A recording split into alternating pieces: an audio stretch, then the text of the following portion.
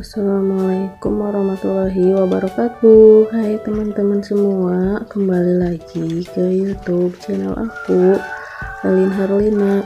Share lagi kegiatan aku di pagi hari Dimulai dari pukul 3 pagi gitu ya teman-teman.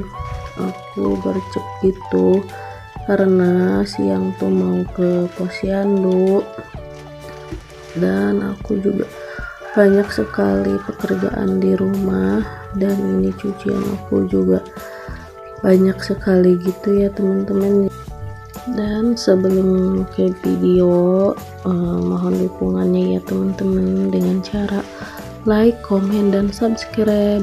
Terima kasih ya teman-teman yang udah mau mengklik video aku yang udah mau yang telah mau share video-video aku juga yang udah mensubscribe. Terima kasih banyak.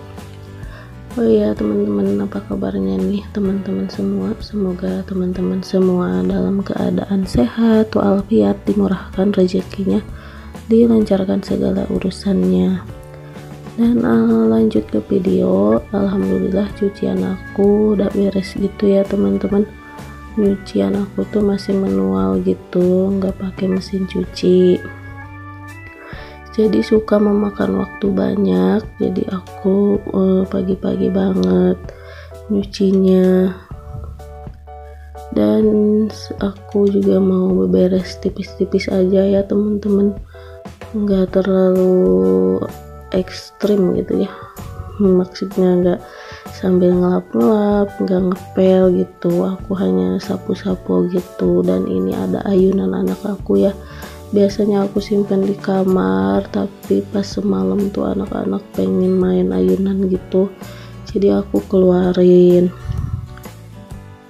Dan anakku uh, pada masih tidur ya teman-teman. Karena ini masih jam 3 gitu. Dan ini jangan salpok ya yang sama yang bergerak-gerak. Itu ada ponakan aku juga ya yang suka nginep gitu di rumah aku uh, nemenin anak aku yang cowok. Pada main game gitu ya pas malam-malam. Uh, mana ya teman-teman uh, cara menghilangkan kebiasaan main game pada anak-anak tuh susah banget ya. Aku kadang sampai ngomel-ngomel gitu ya gak jelas kadang marah-marah gara-gara anakku suka main game. Jadi anakku tuh suka kesiangan gitu ya pas mau ke sekolah. Aku tuh gimana ya susah banget gitu ngebanguninnya. Bisa uh, share ya teman-teman hmm, caranya gitu dan ini lanjut aku mau uh, beresin uh, kangkung aku nih. Kemarin aku udah panen lagi gitu. Ini tuh panen yang beberapa kali ya jadi kangkungnya tuh agak begini ya. Gede-gede daunnya. Kalau yang pertama panen tuh pasti bagus gitu. Jadi pas malam-malam aku bersihin dan ikat gitu mau aku jual di kampung gitu ya keliling gitu. Dan ini lanjut aku mau food prep gitu ya teman-teman. Cuma tipis-tipis aja. Aku tuh sebenarnya jarang belanja sayuran ke pasar ya. Aku lebih sering di belanja sayuran di warung. Uh, maksudnya di tukang sayur gitu. Karena tukang sayur itu suka lewat di depan rumah kadang nongkrong lama gitu ya di depan rumah. Jadi ini adalah sisa-sisaan belanjaan di uh, wah di tukang sayur gitu. Hmm, sayurannya sih sedikit ya teman-teman. Ini sayur kapri juga bukan beli ya teman-teman. Aku dikasih sama tetangga aku hanya wortel tomat aja dan percabean itu sisa-sisa belanja di tukang sayur gitu. Dan ini aku belum belanja bulanan ya teman-teman. Karena sisa belanja yang bulanan Maret tuh masih banyak gitu. Jadi ini uh, aku mau refill-refill gitu ya. Kemarin aku tuh beli online ya wadah-wadah yang putih ini uh, aku beli 20.000 dapat 4 gitu. Cuma wadahnya tuh kecil ya. Aku, aku kira tuh besar gitu. Ternyata uh, masih kecil-kecil gitu. Tapi nggak apa-apa deh. Alhamdulillah sih kepake. Dan ini lanjut. Ini ada wortel juga ya teman-teman. Aku beli di si tukang sayur tuh cuma seribu ya teman-teman jadi kalau ke tempat aku tuh tukang sayur tuh suka agak siang gitu. Kalau di depan di, beliau tuh suka agak pagi-pagi banget. E, jadi aku lebih sering belanja tuh siang gitu ya teman-teman. Dan kalau siang si tukang sayur tuh suka ngasih sisa-sisa belanjaan gitu ya teman-teman atau dimurahin gitu harganya. Jadi alhamdulillah sih. Jadi aku bisa ngirit gitu. Dan ini juga ada sisa masako gitu ya sedikit lagi. Kemarin sih aku beli satu renceng gitu ya.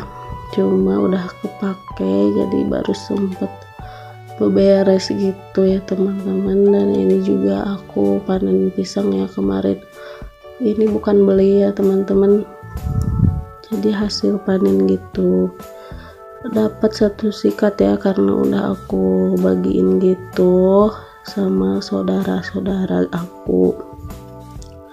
Dan ini food aku cuma segini ya teman-teman. Ada kemiri tahu ada makroni, teh, garam, gula, kopi, cabai, ada seledri sedikit dan kencur, tomat dan ada madu dan masako. Dan itu ada sayur pakcoy dan juga itu ya teman-teman ke sayur kapri aku dikasih sama tetangga aku. Dan ini lanjut aku mau ngerapihin gitu ya teman-teman biar enak dilihatnya gitu. Kulkas aku masih kosong gitu ya teman-teman. Dan kemarinnya tuh berantakan banget ya kalau belum diginiin dan untuk daging aku lebih suka ngedadak ya karena emang sayur itu karena tiap hari gitu ya teman-teman lebih segar gitu kalau beli langsung. Oke teman-teman dan tadi pas aku nyuci tuh belum aku jemur ya teman-teman karena masih gelap gitu. Eh, takut gitu ya ke atas rumah aku pasti gelap banget dan di belakang rumah aku tuh masih banyak apa ya pepohonan bambu gitu. Dan di sebelah ujungnya lagi tuh ada kuburan gitu ya ada makam. Takut gitu kalau di kampung mah ya masih seperti ini gitu. Banyak sekali pepohonan jadi masih uh, gelap gitu. Beda ya kalau sama di kota jam 3 pagi ke pasar aja tuh nggak takut ya teman-teman. Uh, nggak serem gitu. Oke teman-teman dan ini cucian aku. Banyak sekali ya. Uh, anakku ngompol terus nih. Jangan salpuk sama gantungan aku nih yang udah jebol gini. Ini udah tiga tahun ya pas dari anakku lahir gitu. Aku belinya belum ganti lagi Insya Allah kalau udah ada rezeki aku mau beli lagi. Dan ini alhamdulillah cucian aku udah beres jemuran aku. Dan di sini tuh ada bulan ya cuma nggak kelihatan gitu pas di kameranya. Uh, masih terang gitu bulannya. Oke teman-teman sampai di sini dulu untuk video kali ini. Terima kasih yang udah mau nonton video aku. Jangan lupa untuk like comment dan subscribe. Assalamualaikum